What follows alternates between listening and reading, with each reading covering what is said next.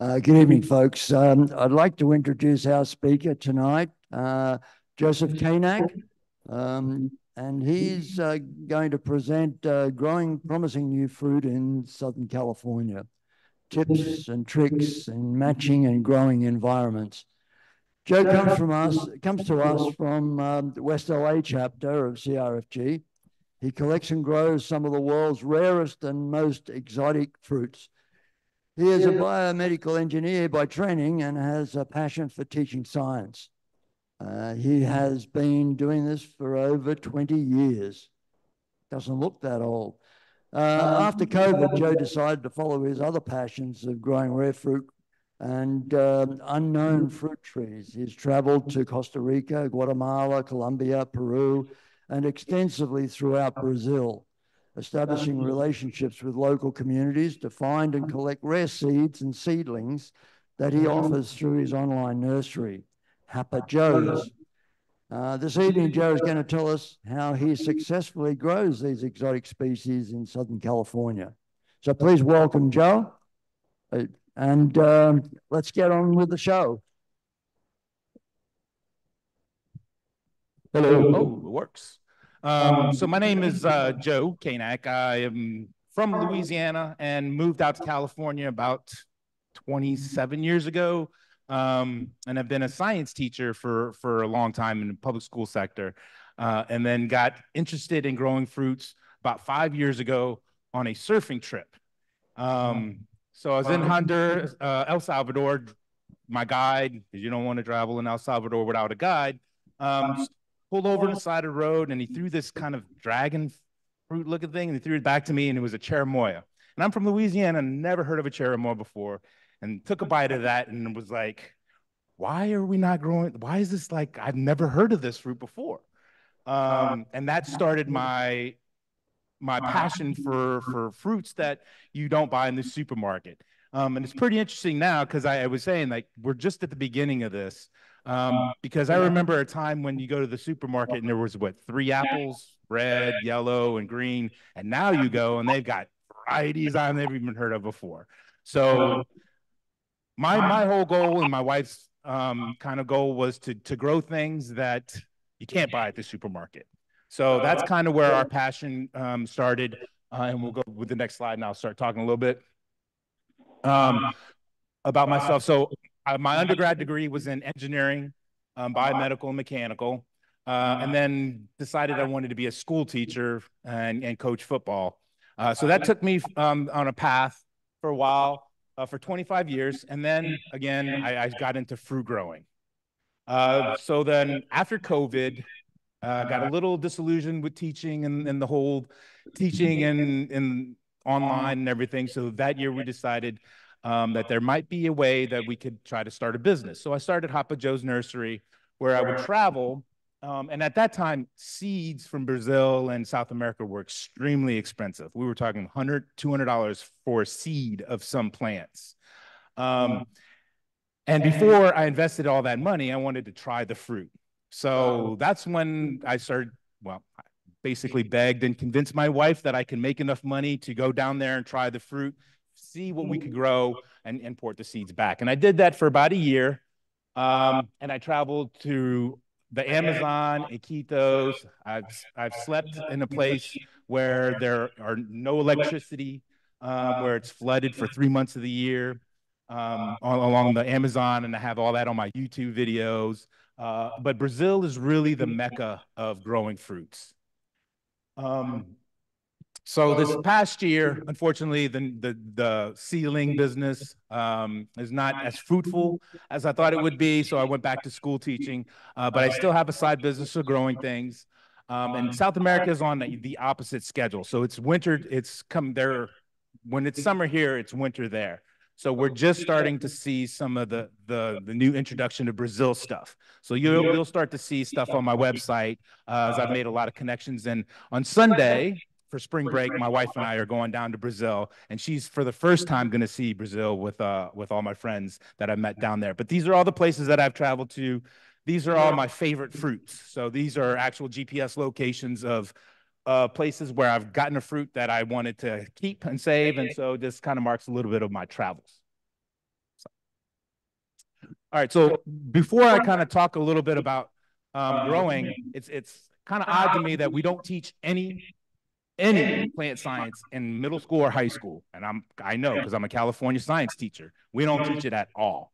So when I first started trying to uh-huh. learn about growing oh. things and you and you go on YouTube, it's the same things being said like between all of them, but nobody's telling you what you need to know. So, what is the living part of a tree? It's really interesting. The only living part of a tree is that green layer. That's it, around the trunk or the stem.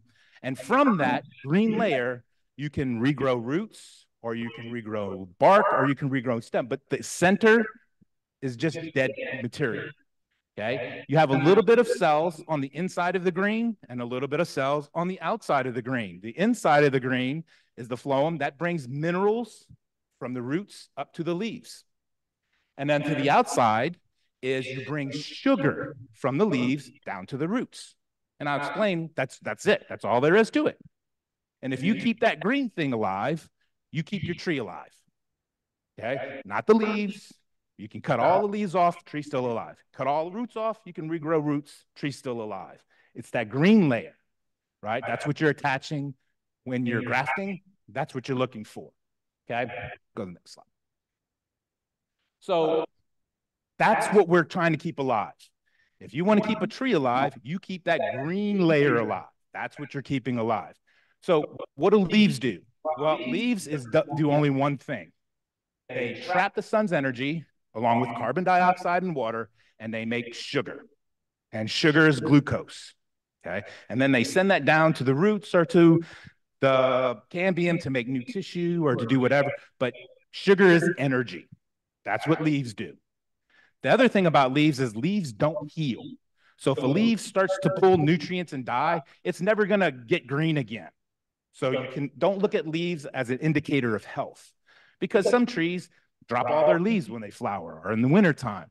So it's not necessarily an indicator of health. You want to look at the new leaf growth. New leaf growth will tell you if it's healthy or not. Okay. But leaves can't heal. So the only thing leaves do is they're just solar collectors that make energy. That's it. Okay. They don't breathe in nitrogen. They don't make any. That's it.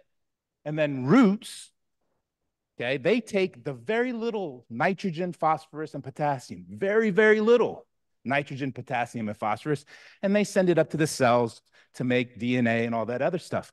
But most of a tree is water and then carbon, hydrogen, and oxygen. That's about 99.99% of what a tree is made out of. So when we talk about fertilizers, you don't need a whole as much as you think you do. Okay. But that's all roots do. Now, roots need sugar because they got to go find nitrogen and phosphorus and potassium and all the other micronutrients. In order to do, to do that, you need sugar. Sugar gives you energy. Okay. Anytime you use sugar, just like humans use sugar, we have to change carbon di- or oxygen into carbon dioxide to break those bonds. So we breathe in oxygen, we use sugar, it's called cellular respiration and then we breathe out carbon dioxide as a byproduct. Leaves do the opposite. This is why we, we tandem, right? So leaves breathe in carbon dioxide and then they store that sugar. They make the sugar. Without chlorophyll, without that introduction through um, evolution, there would be no life because everything feeds off of that glucose that is stored by a plant's leaves. Okay. So if you understand that, that's all you need to do to keep a tree alive the next slide. So the major component, again, is carbon, hydrogen, oxygen. It's, there's no nitrogen, phosphorus, those are all trace minerals. Very little is needed. Okay. Also, trees are very slow growing, um, and the roots are very slow growing. So when we think about how to keep these trees alive, we're not talking about vegetables. We're not trying to go vegetables that grow in a very short season. We want them to flower and fruit within three months. These things are like your lifetime friends. Trees stay around forever and they grow very slowly. I think somebody asked me, Is there anything you can do to make your tree grow faster? Not really, not unless you want to damage your tree, right? If you put it into overgrow mode, then you're going to, the cells are not going to be bounded right. You're going to have all kind of infiltration of fungus and all kind of other issues. You got to let a tree do its deal. There's no way to super, super growth that. Okay. We'll go to the next slide. All right, so this is um, this is probably the most important thing we'll talk about tonight is the soil. And I, like you, was online trying to figure out how to grow trees. And you see the same stuff, Fox Farms and all this other. None of that works. There was one guy who changed my mind, Gary Matsumoto, Laguna Hills Nursery. If you don't know, you need to go there because he's the only dude that has ever, he's the only one that as a scientist made sense to me. Okay. It's, it's the only one because as I traveled through all those places, I would dig into the ground and never did I find coco coir or peat moss or bark or any organic material. Organic, if you put sand over organic material, that organic material is going to break down within a year. That's what organic material does. So when you're building, um, when you're building a house for tree roots, you have to remember tree roots, they don't move. They grow, but they have to get everything, their house, everything, all the structure has to be from the potting mix. So if you're using coco coir or peat moss or anything that could break down, and even even um, Gary will say he says he uses I think 20% or less. I mean, I bet you if he could get it lighter, he would use less, or cheaper, he would use less. Okay, that's um, because I would I don't use any peat moss. I don't use any coco coir. What I use is inert or sand. I always start with sand because that's what trees grow in. Okay, and sand to me as an engineer is the size of the particle. When I was in engineering school in fundamentals of engineering, when you talked about soil, it wasn't like or peat moss. There's no there's no peat moss in any type of engineering soil or coco coir, any type of organic material. It's the size of the particles. The size of the particles dictate um, all the properties. So the smaller the size, the more nutrients and the more water will hold. The bigger the size, the, the, the less nutrients and it will hold. So it's just sand, silt, and clay. So you want some type of variety, some type of mix in there. So I always start with sand, and then you can, you can go to the next slide. So then you can experiment with materials using lighter materials. So there, there are ways that we can engineer a lighter material, um, but then it, it's, it's money because the, to engineer lighter material, it costs more. So pumice is probably the heaviest and the cheapest. Um, and then as you go to of rice hulls and vermiculite, you're talking about $60 for a, for a big bag. So is it better? No. What you're looking for is structure, stuff that does not break down so that then when the roots build, that the roots can breathe because roots have to breathe in oxygen in order for them to convert to sugar and breathe out carbon dioxide in order for them to go find nutrients. That's what roots do. So if your roots are suffocated um, by coco coir or peat moss and is just suffocating your roots, you're, they're going to die. This is why when people say to me, um, if they give you the advice that you're overwatering, what they're telling you is you they don't know what your problem is, but you're overwatering your really bad material. That's all they're telling you. Because I've been in the Amazon where it rains every day and nothing rots there and no fungus in the roots there. I grew up in Louisiana where it rains every single afternoon, and it seems like all the trees there grow just fine. So to, to, for me to, to have potting mix that you can only water every three days doesn't make sense to me at all. And that, that, that was where I found Gary and, and started to, to think about what, what grows. So I would travel around the world and I would look and I would dig, and it's just sand, silt, or clay everywhere. It's all the same stuff. Different minerals, different base, but basically the same stuff. Since I started growing in that type of material, stuff has not really died and everything has been much, much healthier. Okay, go to the next slide. Um, the other things you do have to control. Okay, so the thing, I brought some um, material here today, some plant seedlings, and I can talk a little bit about the different type of plants that I've found along my travels. Um, but the other things you do have to control is temperature. I think that's the biggest one. Yeah, you can't grow durian or mangosteen in Southern California. You just can't. I think at 55 degrees, durian dies. So there's no, you're going to have to set up heaters and you can, you can engineer it if you've got the money and you want to do that. Um, but it's, to me, it's not worth it, right? But there are some things that are worth it that I do set up. A greenhouse in my backyard increases the temperature 10 to 15 degrees without a heater. So in the wintertime, it's doable to have a 50 degree. So those, those Pouterias that I want to grow, um, some of the cacao that I want to grow, uh, Garcinia that I want to grow, they can grow in those just fine. And I did it this for two, two winters now, and they do fine. The other thing is, is um, I live in El Segundo, so I'm right along the coast, so it's it never gets hot where I'm at. I think we get maybe a week or two of 80 degrees, and that's it. It's like 75 is it where I'm at. So I need the greenhouse to also add the heat because I like figs. And so the heat really adds, helps me with the figs as well and some of the other things. Because what I was finding when I was growing is everybody was eating figs and mine were just starting. And so I was like, oh, I am, no, no, we got to figure out another way to do that. I'm a science teacher. I can figure this out, right? Um, and then I have some pictures at the end of some of these kind of cheap setups that I have that are less than 100 bucks for those cheap greenhouses, except they're really cheap. They only last one season. So I'm trying to figure out a, a better way. And then I do try to grow some of the some of the super rare stuff that I have for my travels. I do grow indoors. So I fully control the climate. It stays between 60 and 85 in there, and I just control everything. So it stays at 75% humidity, and everything in there is just super green and just loves life, um, which proves that you can grow under LED lights. All of these things can be grown under we the technology for these LED grow lights that are cheap for 50, 60 bucks on Amazon is ridiculous because it, it works now. All right, so where, where did I start? So when I started looking at, so my wife and I were like, if you can buy the fruit at the grocery store or even the Asian market, then, then we were like, well, let's not grow that. Let's try to find some, some other stuff. So like I was telling some people earlier, if you don't know, you don't know. So where do you start? I was that guy about three years ago. So in this world, the Brazilians really have led the market. So this guy name is Helton Jose, and I'm, i see him next week. And he, him and another guy, um, Paulo Seri and Marcos uh, Ijardim, they and uh, Diego Teixeira, which is all my good friends now. They they started about 10, 15 years ago doing what they called species recovery.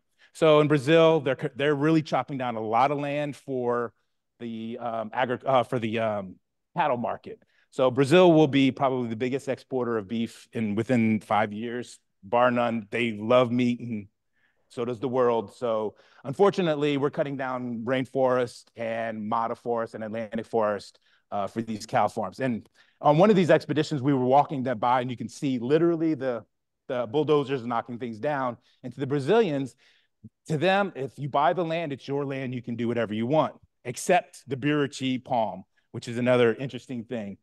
It's protected palm tree that they can't cut down. So they leave that up. And then so once that takes over, then you just have a monoculture of Buriti palm trees. And you see like it's it's crazy what's happening. But so Helton has um he started this book. He's a colleccionado frutas. And he's, if you get into the fruit world, he's the grandfather of it all. He started it all. Um, and he has a farm about two hours outside of Sao Paulo. So he, his area is very much like where we live. It gets about freezing. It touches frost and freezing every year. Uh, in the summer, it gets nice and hot with a lot of mosquitoes. Um, but his area is very similar to, so if you can grow it at Helton's place, you can grow it here in so Southern California. So I started there. Um, and then if you're into growing things, this is the book you want to get. It's by Harri Lorenzi. It's kind of the Bible of the fruit collectors for Brazil. Frutas no Brasil, That's the fruits of Brazil. And Harri Lorenzi is the guy who wrote this. Uh, he actually started a botanical garden right outside Sao Paulo. And if you're into fruit, and if you ever want to go, that's the place you want to go because they have it. He has it all, and he's all the collections. But if you want to know what to collect, he's this is the book because if you go through it, It'll it'll give you the flavors and what the uh, the, the locals eat and what um, the people there collect. Okay, so I just kind of followed what the Brazilians collected um, and then tried to bring them back. So that starts with probably the best group to grow in Southern California that we don't know about, and that's the Myrtaceae family. So it's Eugenias, Plinias, Campomanesias, Myrcias, um, Guavas are in the, in the same group. But for me, Eugenias are the easiest to grow. They're already here. Suriname cherries are Eugenia family. Um, I don't might have Pitomba or Pitangatuba here. Um, if you if you kind of started the Doel and then in the next the the newer stuff that's coming, um, these are the types of fruits that, that you're looking at. Um, so Eugenia candolleana uh, is a really good one. It's a rainforest plum. Uh, and I have all of these here for you guys. So if, for anything that I have pictures of, I have here. Uh, and then this is Eugenia burrowperdiana, and then Eugenia um, SP. So in, in, the, in the world of fruit collecting, if we don't know what it is, we, we call it an SP. So we this one we found in Bahia, Brazil, which is um, about an hour south of Salvador, Brazil, in a little forest.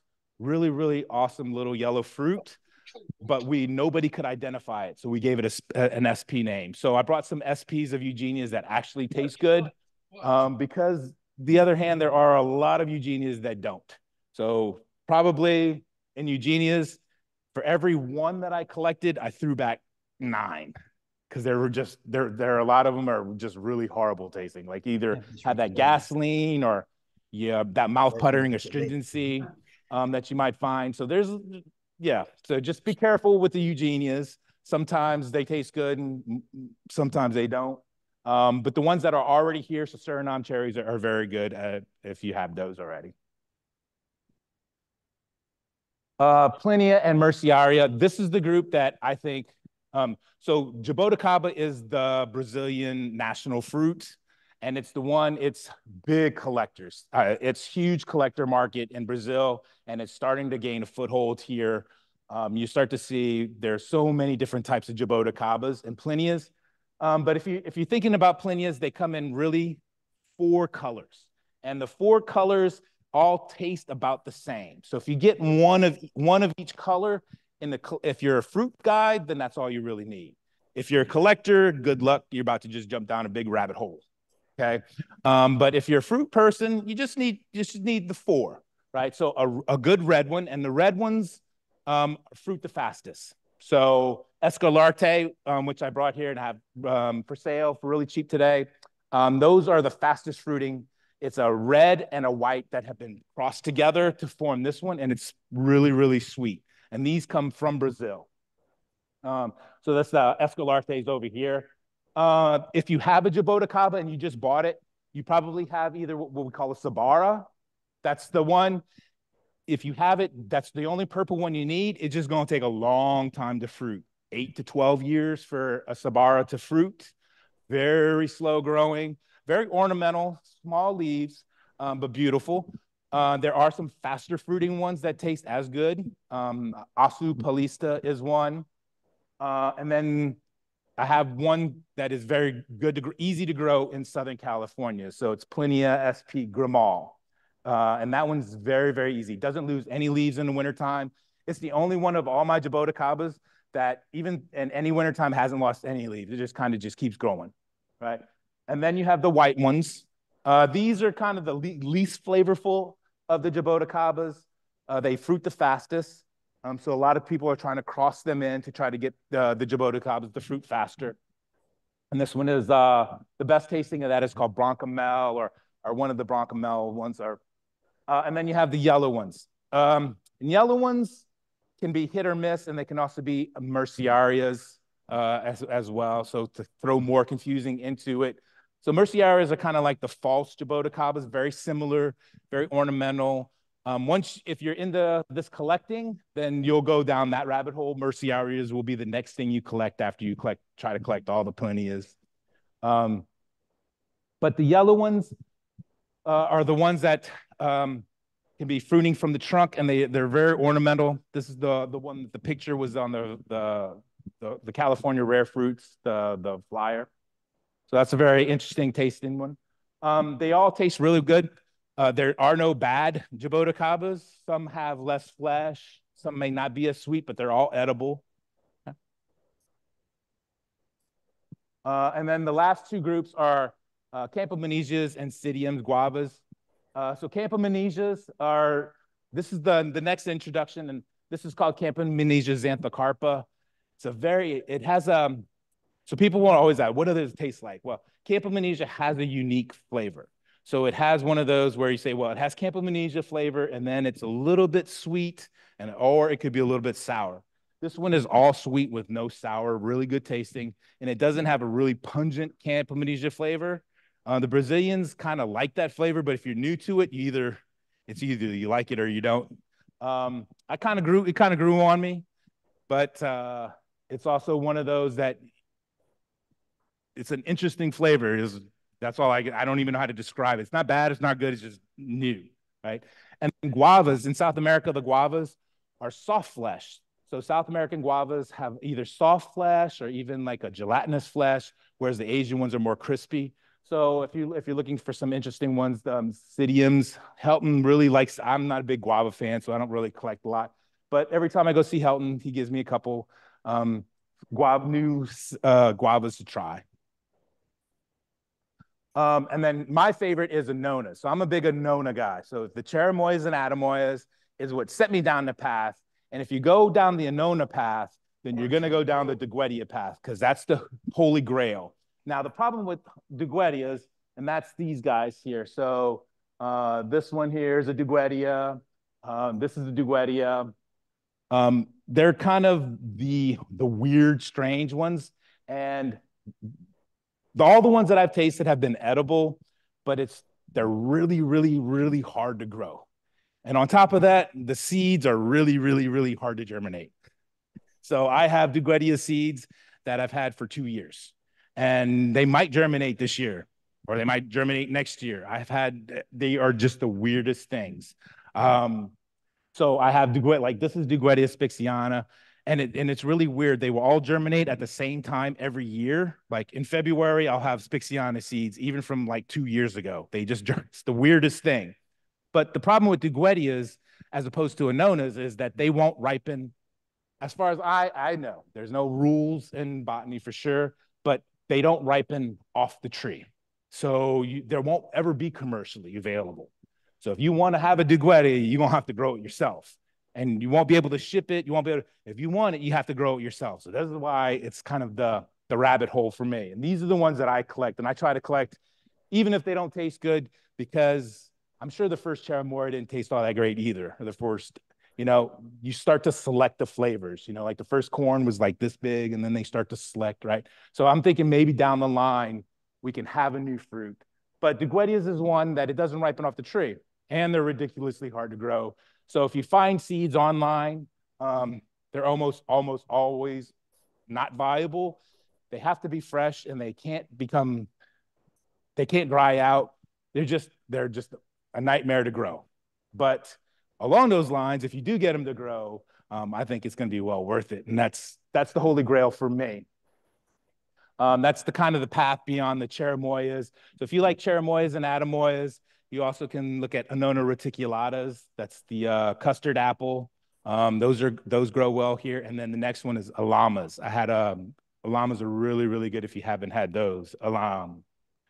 Used to be called diversifolia. Now it's macrophyllata. annona micro. Um, those are really really good as well. Uh, and I had those in Guatemala.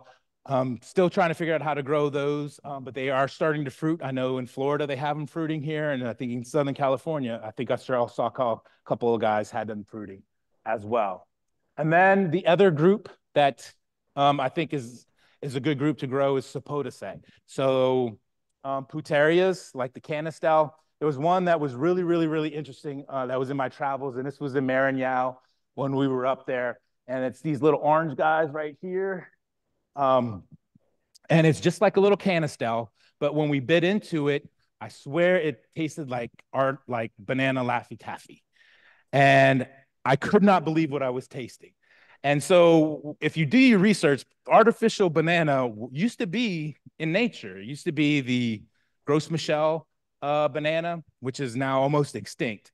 But that flavor used to be the flavor of bananas. So that actually is a flavor in nature. And I had never, ever, ever smelt or tasted until I had that thing. And I don't, I wouldn't say it was good because I'm not a big banana Laffy Taffy person. But if you are, then you need to get uh, Cutiche.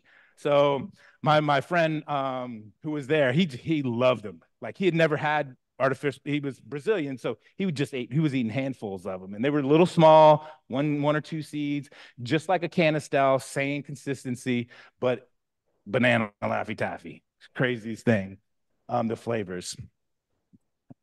So this is my little outdoor grow tent. And so I have these uh, cherimoyas and atemoyas, which I grow outdoors um, all season. They do fine, and they're all in pots. Nothing is in the ground. Everything fruits in pots. And I trim them back because I'm not growing fruit for the entire neighborhood. Just growing because I don't know. I can't eat more than one annona a night, but I could probably eat one a day. But so I don't. That's about how many I grow for me and my family. Um, and then I have this little cheap grow tent. The only problem is, is this year the the top did get holes in the winter, so I did have to. So don't buy that. So don't buy these yet. So I'm still figuring out um, a cheap way, but those are only 100 bucks. So for one winter, it did its job. I didn't need a um, heater, and everything that was inside stayed fine. I have um, that's the Musa. I don't know, one of those tropical variegated bananas that aren't supposed to grow. Did fine in a in a tent without a heat. Um, I have cacao growing in there and figs stayed. This is December when I took these pictures. This was for the other. So this was all growing in December still, still they trapping the heat. And then uh, this, the outside pictures and just uh, inside of the pictures. And then this is my VIP tent. So I got this idea from the marijuana growers of the world. They got some pretty good products out there right now um, that we can now convert to growing trees.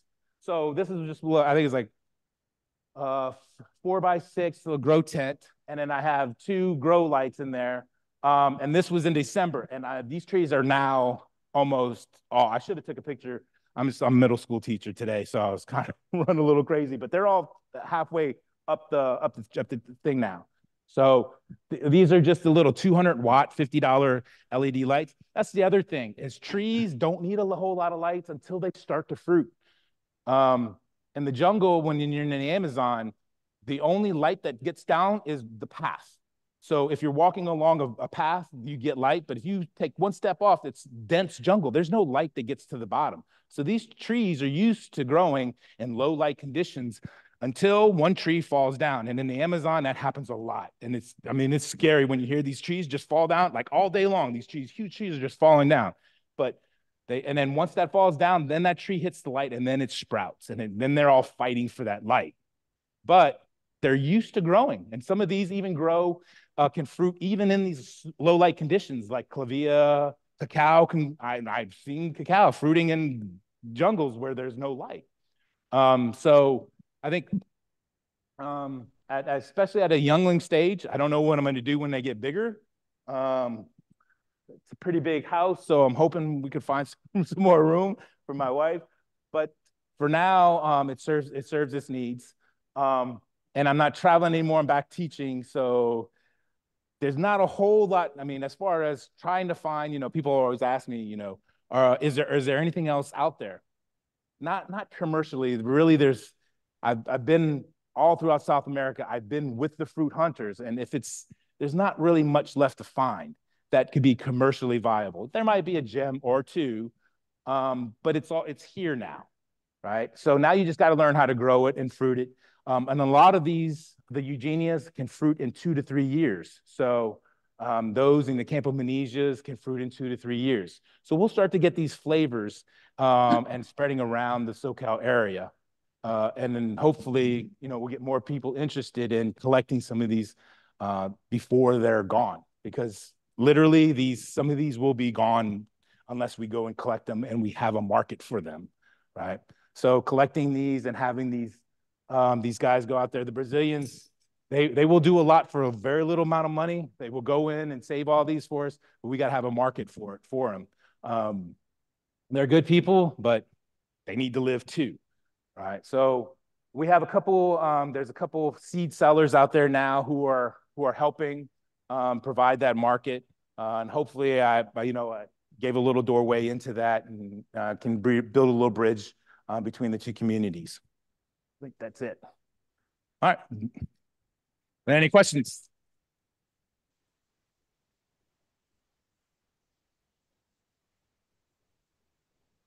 Yes.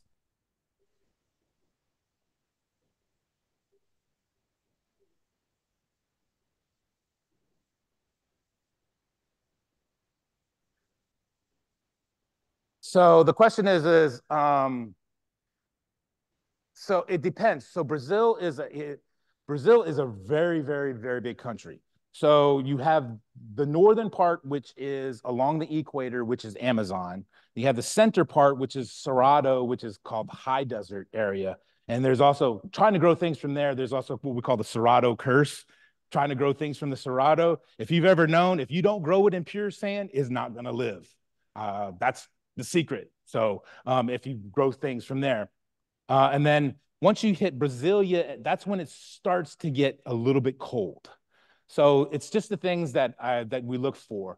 Uh, eh, in, in the U.S., I mean, besides Hawaii and Southern Florida, we live in Southern California. It's the frost that that that really hurts everything. So you have to protect against the cold temperatures. You can grow everything here with a little bit of help. Uh, you just have to protect against the cold. This is why also a lot of the things I'm looking for will fruit in pots. I'm looking to grow these things. I'm not necessarily put them in the ground. You, I mean, you can. I've seen a lot of people put Suriname cherries and I grow a lot. Most of my Jabota jaboticabas are in the ground in my front yard, but also the ability to put them in pots. And should a frost come, to put my stuff in the, the garage in a little heater to just protect them uh, is not out of the norm either. Yes, ma'am.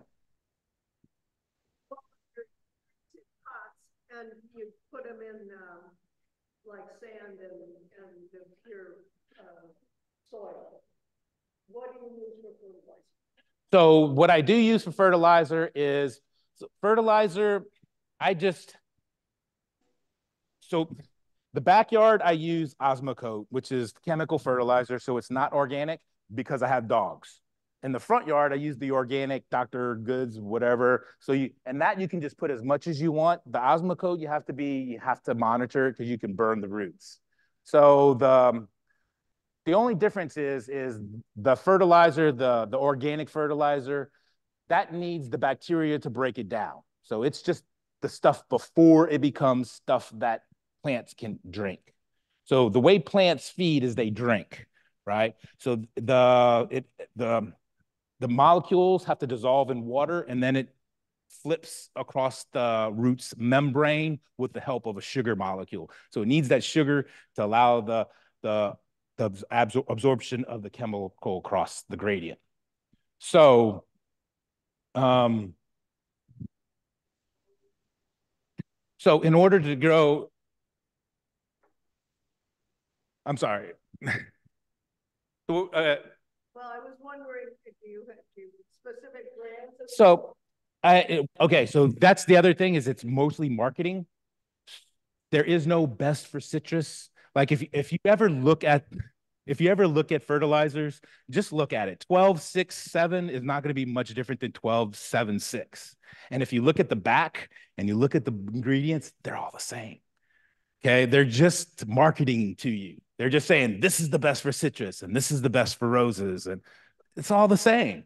It's roots. Uh, it, the, it, if it's the organic stuff is bone meal or or something like that, and then the bacteria breaks it down into oh. phosphates, and and then that dissolves, and then the water brings it down to the roots. So if you use Osmocote, which is a chemical, um, which is like the extended release, which I use in my backyard because my dogs would dig up everything if they didn't. Um, then you have to monitor how much you put. If you if in the front yard, I just it smells horrible, but that stuff you can just put as much as you want just let it organic. But then also, I don't fertilize as much anymore because um, my yard is full of mulch. So I get the I get free mulch in El Segundo. I not around the tree, so you have a little buffer between your your bark, and then you put stone or I use pumice. The the red rock is beautiful stuff, and then right outside where the tree drips, that's where you want to start your, your, your mulch line. Okay, because that's where the nutrients, that's what's going to break down. And I, we have put a lot of mulch in my yard. But if you do that, you don't need to fertilize. Yes. Okay. I don't know what this is. Soon. Oh, there we go. Um, okay, so I so the way that I germinate seeds is different than I don't just put them in a pot and pray. So I clean them and then I put them in sphagnum peat moss. So the really good stuff, not the the cheap stuff from Canada. You have to get the stuff from New Zealand that is actually peat moss because it has a chemical. It produces a chemical that does that fights off mold and fungus. And then I spray with neem oil, and then I just observe. And then I have it on a heat mat, so it never gets below 75. And I have a I have two tables like this in my house, and with heat mats, and then these little germination tanks. Um, he's he's seen them, but he's been in my house. So, and I just you just, as long as they don't dry, and then you do the float test, and they're they still sink. Some, some if you know some, that's not true for all seeds, um, but if you know they sink and they and they sink, then they're still viable. So I do test them, I do clean them, I do inspect them, and I don't give up until either they crack or and something happens or mold takes a hold and it's just beyond beyond recovery. So yeah.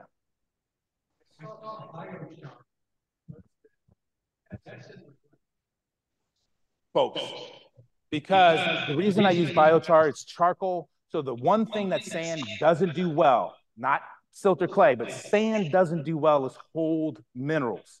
This is why it leaches, it doesn't hold it. So if you hold biochar, what that is, is that's pure carbon and that acts as a sponge for your nutrients.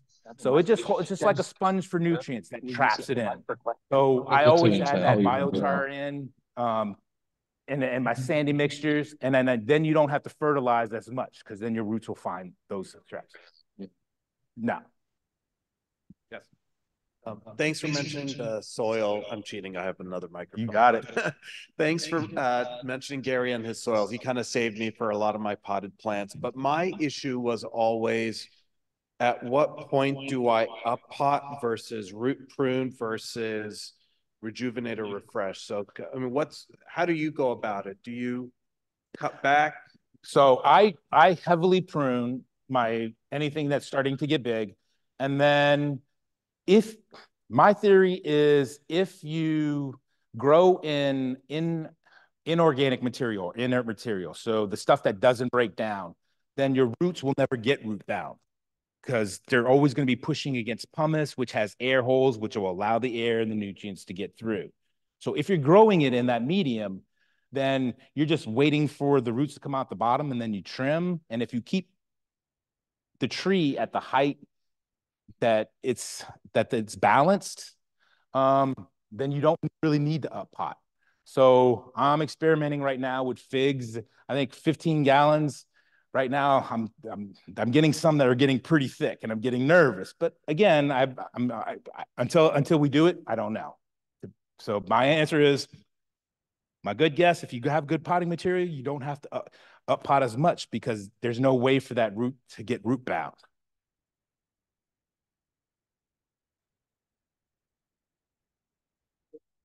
So I do for my seedlings that I grow indoors for anything outdoors, don't because I think what Gary said is it's you're breathing it in all right. It's all it's already in the air. So whatever's it's the spores, it's all especially after good rain, it's it's already there. So just let nature do its course.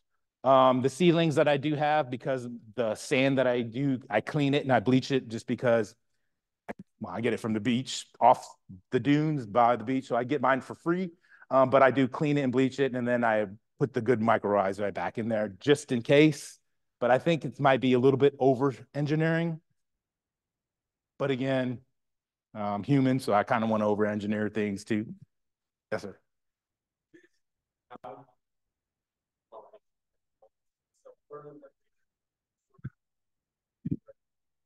So this is where I, so when people come to my house, I tell them, and or even today, pick a group you want to go down the rabbit hole because pollination is species specific, right? So annonas, yeah, yeah, you got to. There's no other way. You got to get out the, the, the paintbrush and things. But eugenias are self pollinating. Um, if you got bees and bugs around, they're fine. Jaboticabas, I've never had to pollinate, and I have. They're all fruiting and flowering in my front yard. Myrciarias, the the general rule of thumb is that you need a couple to cross pollinate uh, you have one, it will take a lot longer for some strange reason. I don't know. I don't know if that's anecdotal. I don't know the science behind that. Uh, couldn't tell you. But uh, all the other ones, it seems like one needs to be enough. Me, I always grow three of things. uh, until I until I know. Um, but I know Jaboticabas, they can self-pollinate just fine. Yes, ma'am. 25 gallons. I have uh, two huge Inga trees and all my cherimoyas are in 25 gallons.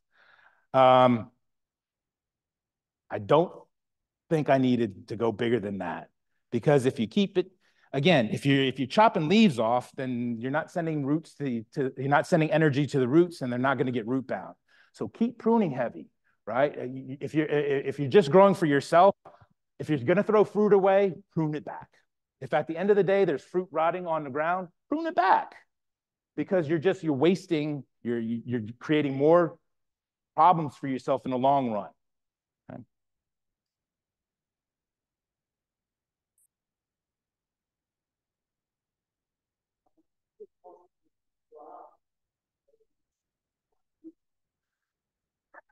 That's the big question. So Jaboticabas, yes, because I got I got these multi-grafted cool trees. So yes, Eugenias, we don't know yet.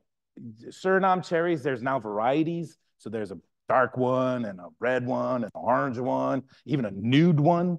Um, so those are the varieties, but I don't know if you can cross graft yet. Um, very specific because again, a lot of these None of these, none of those have, have been fruited in the United States yet. There's so any of the Eugenias I have there, this is the this last year we found it. So yes. You don't need a whole lot. You don't need a whole lot. So a cup for five gallons. That I buy online. Um, not charcoal. Make sure the reason I say biochar because if I say charcoal or activated charcoal, then people go buy like briquettes, and then that's full of oil and petroleum. And so biochar is just pure charcoal. It's activated. It's just activated carbon, um, which allows it to soak that material. You don't need a whole lot because sand will do most of it. You just need to give sand a little bit of help because it does leach water every every time you water will leach some of those just biochar or agricultural charcoal. Aquarium charcoal will work just fine. Same stuff, exact same stuff. Aquarium charcoal, it's activated charcoal. I mean, you're gonna, if it costs more for biochar, then that's marketing. It's, it's the same stuff. We go here and there. Yes.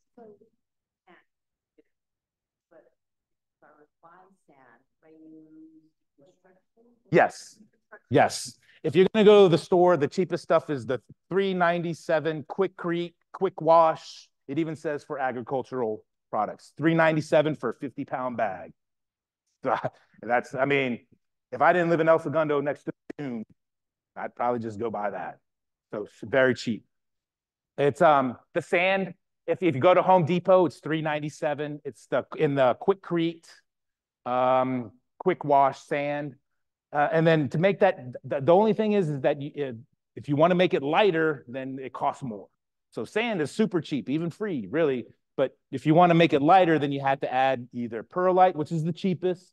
But the problem with perlite is if you if you it's not very structurally sound. So if you crush it, it becomes um, silt or it becomes clay, very very fine particles, which makes me nervous. So pumice would be the thing that I would go to to, to first lighten up. Um, if you have money, then rice hulls. They make dams. I think um, in Japan, they made dams out of rice hulls that are still there for like 75 years. They don't degrade. So that would be another one. And vermiculite. Um, vermiculite has aluminum. Uh, so there's some theories that that won't work as well as a growing medium, but I don't know. It seems to do fine for me so far, but I do kind of test it right now. I don't really I don't really know yet, so I don't really want to say vermiculite. Um, and then come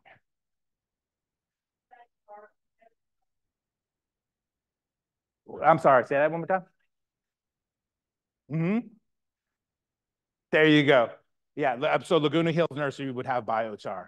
And I know he puts that in his, um, I'm not, man, I'm not Gary's salesman, but his Gary's top hot, right? he, he puts some of that in there with his peat moss, but it, it's I, am pretty sure it's sand and pumice is the is the main ingredients. Right? Yes. Uh, Any tips on yellow? I know they're different. They seem to flower differently and mine just started last. year. Okay, so which yellow?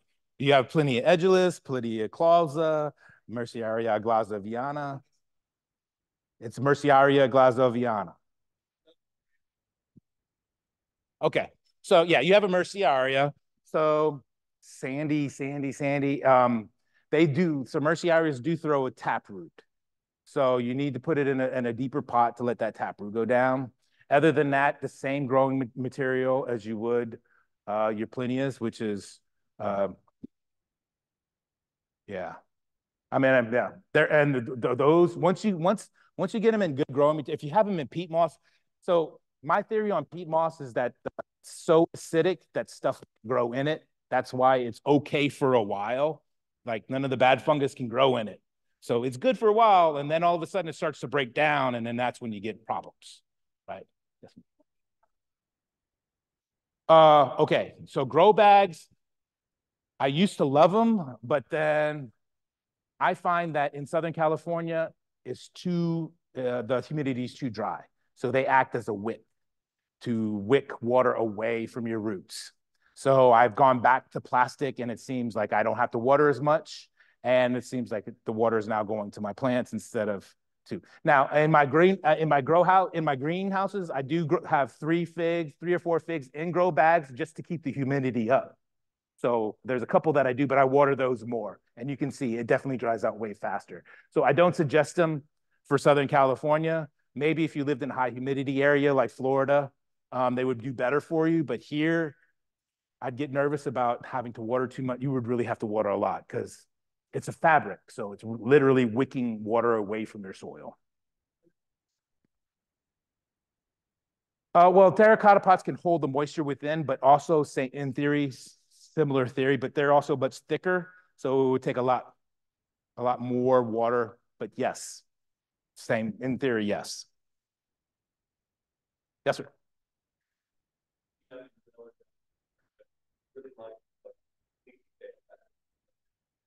Oh man. Oh yeah. Oh my God. Okay. I promise you, I have killed more plants than probably all of you combined. I have tried to grow it all. Um, there are some like durian, man, that one, and Duguetia before I figured out sand was the main ingredient. I killed a lot of Duguetias. Uh, and that one hurts because you wait a year for it to germinate. You spend $50 on one seed, and then you get it to germinate, and then it dies from, oh, that one hurts.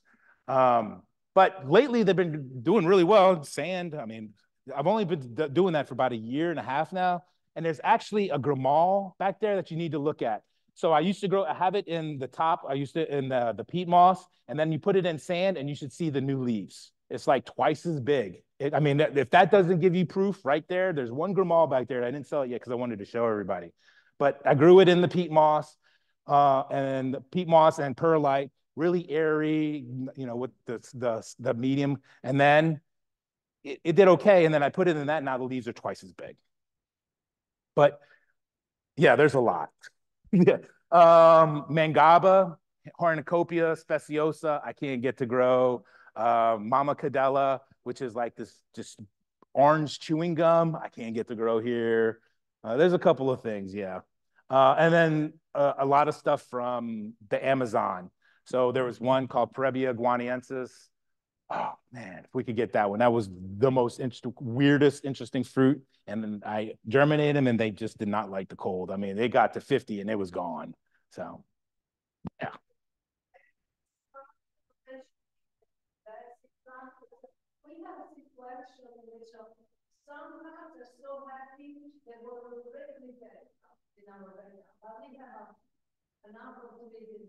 To grow everywhere. And the same with the old ones. So which is really we have to be careful. None of these will throw suckers or be invasive. They're all bushy, slow, small growing. Um, yeah, yeah, especially the jaboticabas. They don't throw suckers. I don't. I don't think they. It's one single. It's a single trunk tree. Um, very beautiful tree.